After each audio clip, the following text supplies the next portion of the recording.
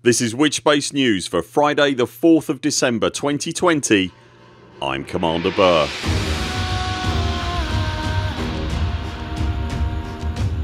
In this weeks news was there an interesting Odyssey hint in last weeks community goal artwork? We've got some useful tools to help your contributions to this weeks CG, Frontiers second weekly Ask Me Anything and more. If you enjoyed this video remember to hit like and subscribe and if you'd like to help support the work of this channel you'll also find us on Patreon. Links to everything you need are in the description below. We start this week with an interesting little nugget that came to us via our son Commander Reno Solis.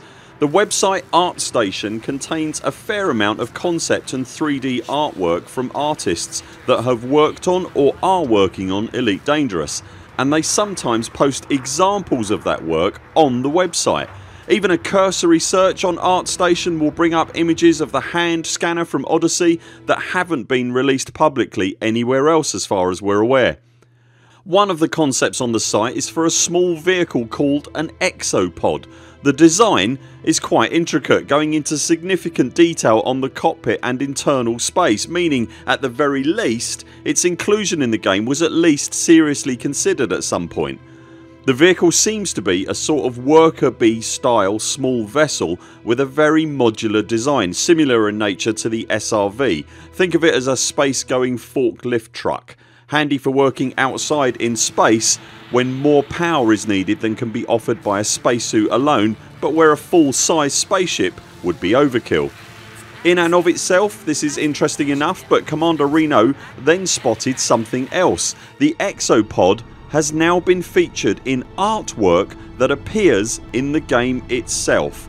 Last weeks CG centred around the arms build up of the Imperial and Federation navies in the article on Galnet about the CG you can clearly see an exopod operating at the Federal and Imperial shipyards helping in the construction of the new ships.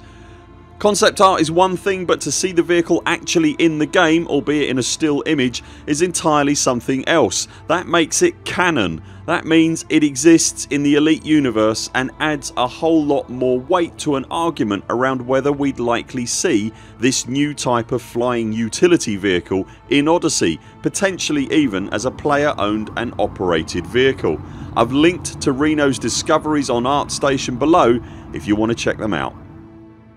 The latest community goal kicked off yesterday and it again sees the Alliance prodding the Thargoid bear with a pointy stick, this time ably assisted by the less than reputable Sirius Mega Corporation. The CG is offering a newly over engineered advanced discovery scanner in exchange for planetary surface data from the ammonia worlds that are so favoured by the Thargoids. Helpfully the Sirius Corporation has new technology in development that can terraform ammonia worlds to make them Earth-like something I'm sure the ammonia loving Thargoids will thank humanity for endlessly and enthusiastically. If you want to help contribute to the goal you'll need to surface scan ammonia worlds and hand the data into the CG but rather than randomly stumbling around hoping to find an ammonia world the elite community has, unsurprisingly, come up with a couple of time optimising solutions. About the best we've seen so far is the Spansh Route Plotter website which already has a route plotter finding option that will take you places via ammonia based worlds. There are also multiple lists popping up all over the community of ammonia based worlds for you to just drop in and scan and we've linked to some of the useful stuff in the description below. As we've already mentioned once again it seems the Alliance is keen to prod the sleeping Thargoid dragon. We think they're surely up to something Thargoid related but we just don't know what yet. Post your tinfoil wrapped Alliance Thargoid conspiracy theories in the comments below.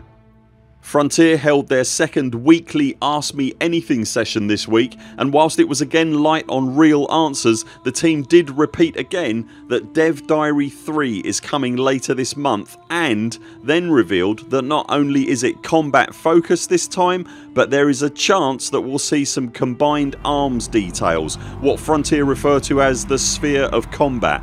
That's to say ships, SRVs and foot soldiers all in the same place working for or against each other. Here's hoping. As we reported recently the fuel rats are fast approaching the staggering figure of 100,000 rescues and to celebrate that incredible milestone they are holding a competition to win a Thrustmaster HOTAS controller courtesy of Frontier Developments with runners up receiving in-game paint packs. To enter the competition you'll need to produce a poster celebrating the 100,000 milestone. The full details are linked below.